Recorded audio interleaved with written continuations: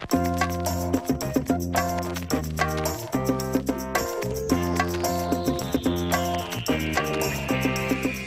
the video before this one, I explained how bad high fructose corn syrup is for your health and how it may be hindering your weight loss efforts. So what I want to show you today is exactly how you can find high fructose corn syrup in the grocery store and in your cupboards.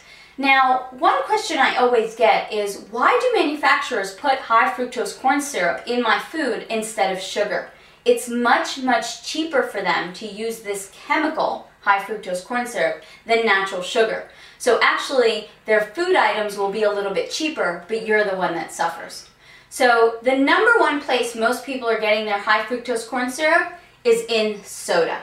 Now the ingredients list on this Coke is carbonated water, high fructose corn syrup. So the second ingredient in here is high fructose corn syrup. And there are 40 grams of sugar in this one can of Coke, which is the equivalent of 10 teaspoons of sugar. So imagine putting 10 teaspoons of sugar in a cup, adding some water, and then drinking that, or even worse, giving that to your kids. Now, speaking of kids, I see a lot of kids drinking Gatorade. Well, there's high fructose corn syrup in Gatorade. It also happens to be blue, and I don't know about you, but I'm not drinking anything with toxic blue in it.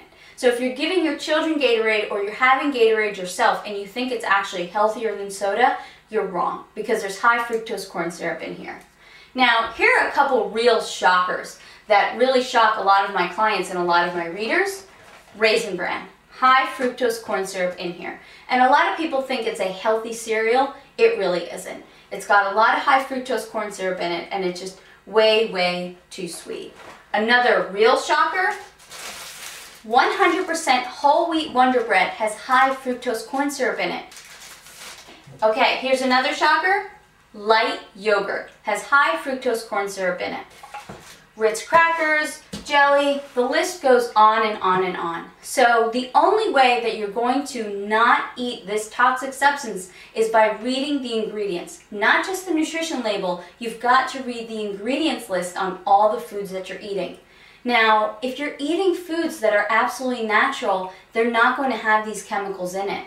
Now, you know, some of these are like a yogurt as a snack. Now, what would I have as a snack?